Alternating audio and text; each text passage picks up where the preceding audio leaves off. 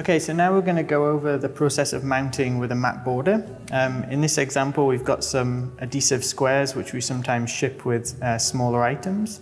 To use this one, you're basically going to turn over the item. You're going to take your sticky squares. You're going to remove the white cover. It's double-sided tape effectively. Then in each corner, you're going to take it relatively close to the edge and then you're going to repeat that same step for, in this case, we probably do three along the top and three along the bottom. Then once we've done that, we're going to take the item back. We can flip it over. We bring the PVC backing board back in. We put the item roughly in the middle.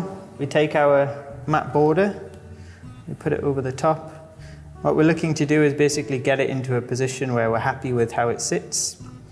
Then what you want to do is take a, an item that's not too hard but has a bit of weight to it so it won't damage the picture and it allows you to lift away the mat border. And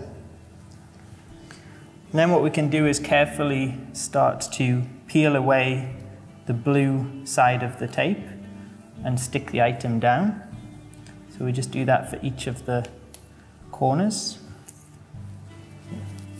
Then we can take the mat border, put it back over the work. You can just maybe apply a little bit of pressure to make sure everything's stuck down nicely. And we can take the frame and we can basically lift everything back into the frame. So we just do the mat border first.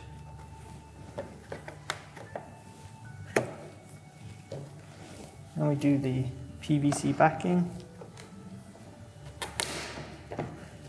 Press down the black flexi tabs.